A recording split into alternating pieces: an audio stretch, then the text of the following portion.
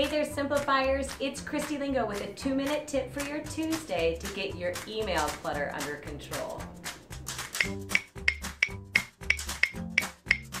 Even though the younger generations are moving closer and closer to a paperless society, that doesn't mean that we're moving towards a clutter-free society. But today, I am going to give you some tips for getting your email clutter under control.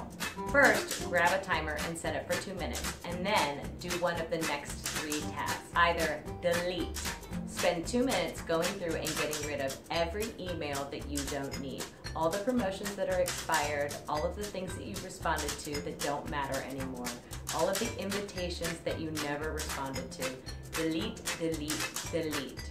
The second task that I recommend is to unsubscribe from all of the promotional emails and newsletters that you don't open, or to shut off notifications for social media that you don't use. If you open up the email and scroll to the bottom, you should find an unsubscribe link that will take you to a place where you can unsubscribe from that particular company or that particular newsletter.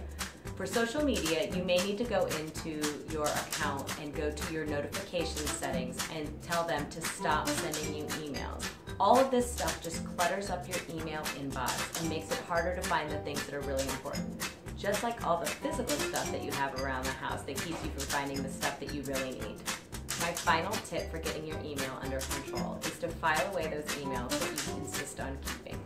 Just like paper clutter, you're only going to go back to them about 20% of the time. But if you insist on keeping them, we might as well make it easy enough for you to find them. Many programs like Outlook or Gmail are going to provide you with a way to create folders just like you would with papers to be able to store those emails away and be able to search for them